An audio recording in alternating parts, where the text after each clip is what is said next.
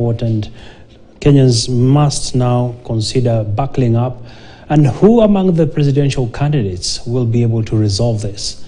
Well, we'll be keeping an eye on this. Let's take you now into some politics. And Nairobi gubernatorial candidate on the Azimio Kenya ticket, Polycarp Igathe, says his unique campaign style is aimed at celebrating the blue collar jobs and not to put undue focus on himself.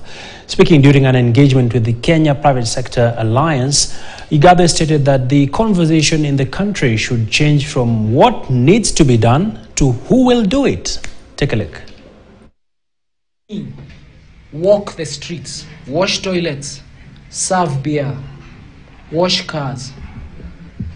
In fact, the latest meme is there's something I deliver just in time. but why was I doing that?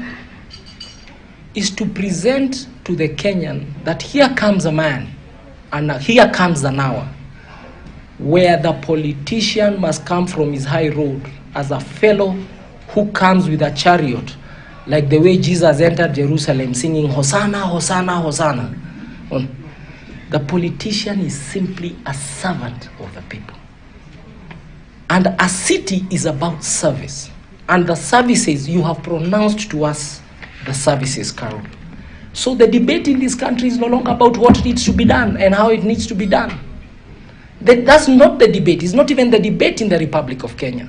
The, the biggest debate in this country, I pronounce to you, ladies and gentlemen, is who will do it. It is not what, it is not how, and it's not why it needs to be done.